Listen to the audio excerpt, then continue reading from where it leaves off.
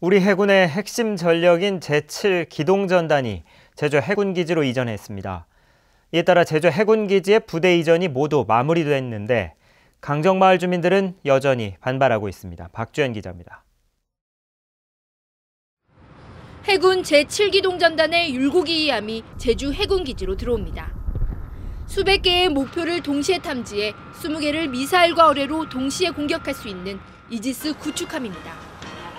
우리나라 첫 이지스 구축함인 세종대왕함도 뒤따라 위용을 드러냅니다.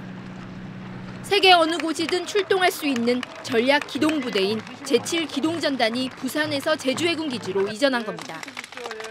제주 해군 기지에는 이달 초 기지전대가 창설됐고 제93 잠수함전대도 지난 20일 진해에서 이전했습니다.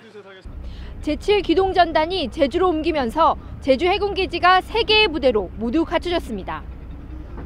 이에 따라 구축함 9척과 잠수함 3척 등 해군 함정 20여 척과 병력 3천여 명이 주둔하게 됐습니다.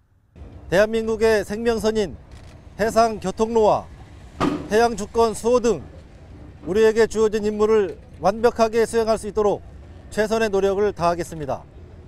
강정마을 주민들은 부대 이전을 반대하며 피켓을 들고 차량 진입을 가로막았습니다.